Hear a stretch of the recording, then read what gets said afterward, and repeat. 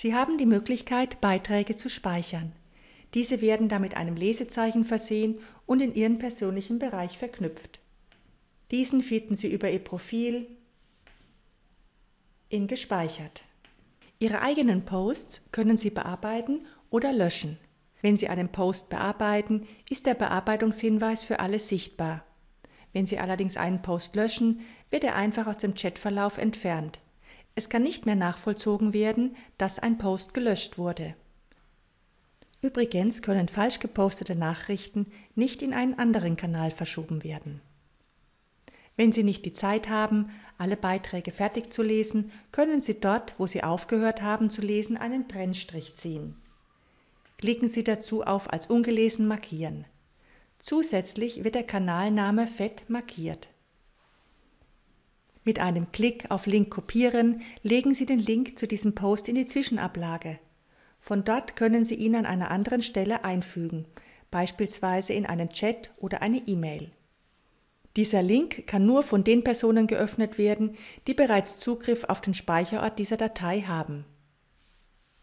Mit einem Klick auf Mit Outlook teilen wird die komplette Unterhaltung, also der ganze Thread, in das Textfeld einer E-Mail eingefügt. Anschließend können Sie die E-Mail versenden. Übrigens können Gäste keine Unterhaltungen per E-Mail nach außen versenden. Bei Ihnen fehlt diese Option im Menü. Zur Erinnerung, Gäste sind externe Personen, die in das Team aufgenommen wurden. Falls eine Nachricht in einer anderen Sprache gepostet wurde, können Sie diese mit einem Klick auf Übersetzen in Ihre Sprache übersetzen lassen. Am Symbol erkennen Sie, dass diese Nachricht übersetzt wurde. Selbstverständlich können Sie dies jederzeit rückgängig machen. Der plastische Reader ist das Lesetool von Microsoft, um Menschen mit Einschränkungen das Lesen zu vereinfachen. Wenn ein Post für das ganze Team interessant ist, können Sie diesen für das ganze Team anheften. Alle angehefteten Posts finden Sie über die Kanalinformationen.